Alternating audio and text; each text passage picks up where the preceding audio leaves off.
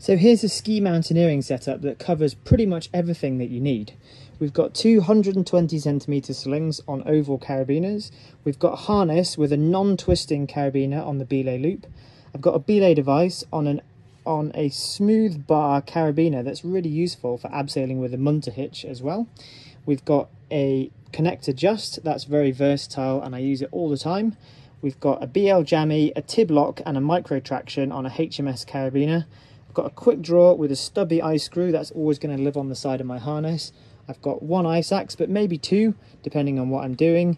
I've got 6mm Kevlar cord here, this is about 4 meters. This is a 20 centimeter ice screw with a edge protector wrapped around the outside and an Abalakov threader and a knife on the inside.